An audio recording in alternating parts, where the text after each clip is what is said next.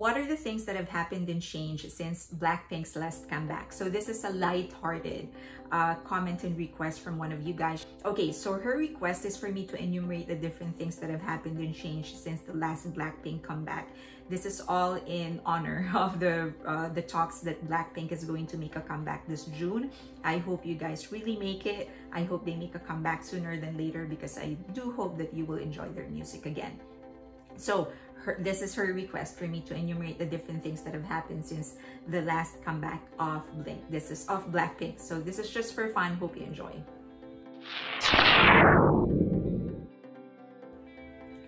IU released two singles, Celebrity and Strawberry Moon, a studio album, Lilac, a special album, Pieces, and a collaboration with Jay Park for Ganadara. She also came out with a documentary titled Pieces 29th Winter and finished filming her first full feature film, Dream.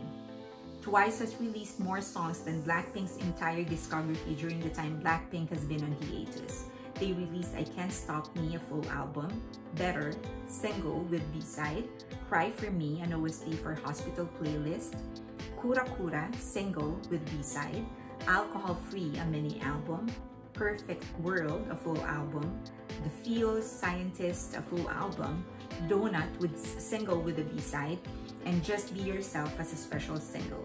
All this while doing a world tour, solo projects, and more actively participating in the writing, composing, and production of their new music, which have resulted to the some of the best songs of their career. Mamamoo released two mini albums, Travel and Where Are We Now, one compilation album, I Say Mamamoo the Best. Red Velvet released Queendom, Feel My Rhythm, and Wild Side. Wendy literally broke her face, still came out with great music for both her solo and with Red Velvet. Joy also released a solo. G-Friend disbanded and re-debuted with three of their original members as VIVIZ, releasing an EP, Bop Bop, and joined Queendom too. Brave Girls almost disbanded, suddenly became famous and managed to get a perfect all-kill with a four-year-old track rolling. They released two mini albums, Summer Queen and Thank You. ITZY released their EP Guess Who with their lead single Mafia in the Morning, studio album Crazy in Love with their lead single Loco, and they signed with Republic Records, which houses Drake, Ariana Grande, Taylor Swift, and TXT aespa debuted. They released Savage, a mini album, Black Mamba, Forever, Next Level, Savage, and Dreams Come True. Karina and Winter did Got the Beat and they performed in Coachella. STAYC debuted, released two mini albums, Stereotype and YoungLove.com. They released two single albums, Star to a Young Culture and STAYDOM. They released four hit singles, So Bad, ASAP, Stereotype, and Run to You. Lee Hi signed with a new label and released the single Holo, and a full studio album for Only.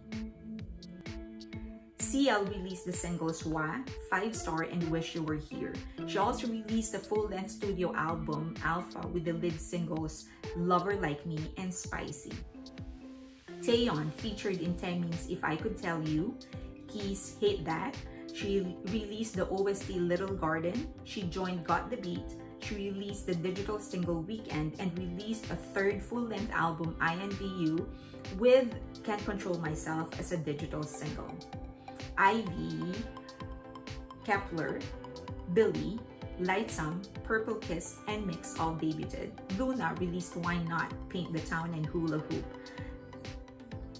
2NE1 has a freaking reunion in Coachella. GOT7 left JYP, released a single Encore, JB, their leader, secured the rights to all of their names and other properties, almost becoming a lawyer. They are already gearing up for a comeback despite the fact that they aren't even signed in any agency and are living across three, arguably five different countries. All 13 members of 17 renewed their contracts with Pledis. They released three mini albums, Semicolon, Your Choice, Attacca, two Japanese singles, one English single, plus some other solo projects. Even ENHYPEN debuted and had three comebacks, not including the Japanese releases and other concerts and shows.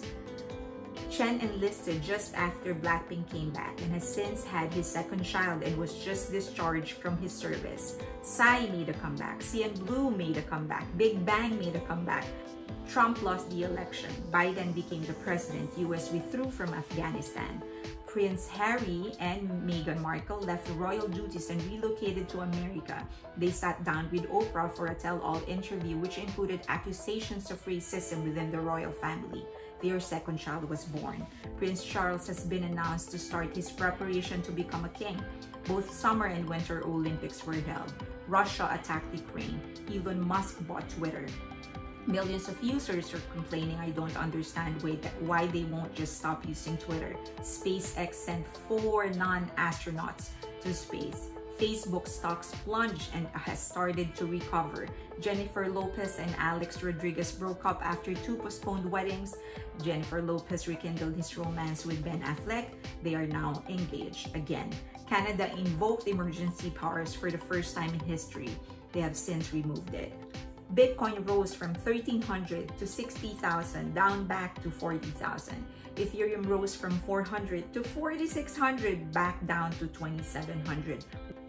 Will Smith slapped Chris Rock during the Oscars. J.K. Rowling canceled before BTS came back has remained with her publisher. Sales of her books have gone up. Movies and plays based on her stories continue to be released. Theme parks are still making millions from Harry Potter inspired rides and merchandise. LA Lakers won the 2020 finals after a 12-year drought.